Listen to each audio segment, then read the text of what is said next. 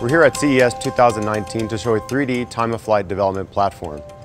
It is a great example of the collaboration of engineers from analog devices and Arrow Electronics to make it easier for customers to design with technologies like 3D time-of-flight and to help bring innovative end products to market quicker.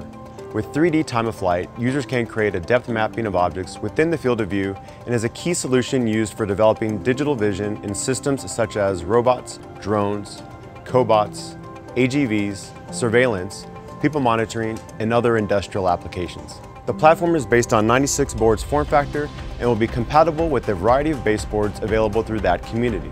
The development platform comes with everything a developer needs to start working immediately on 3D time-of-flight applications, hardware, software, firmware, sample applications, and an SDK that supports Windows, Linux, and Apple development environments.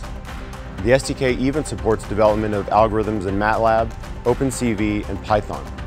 Within minutes of unpacking, the user is able to capture depth mapping data with 1% accuracy using analog devices signal chain.